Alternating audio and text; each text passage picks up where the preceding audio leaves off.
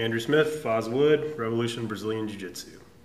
Okay, so I slide my knee across here, make sure I lift this leg and drop my hip as well. Post far enough away so the guy can't grab. I'm bringing my leg in front, carefully. As I sit down, I'm trying to turn my partner's knee, but it's not always going to be able to turn to the side. So sometimes it's better if I lift my hips up, pass that leg over. Notice I've still got the over-under position here, and I've exposed his heel by turning his knee this way. From here, I reach for my elbow strike to expose his heel, capturing his toes with my armpit. My hand comes through, and it's only the blade that captures his heel here. Nice and easy. I just push my hips forward to finish very slowly.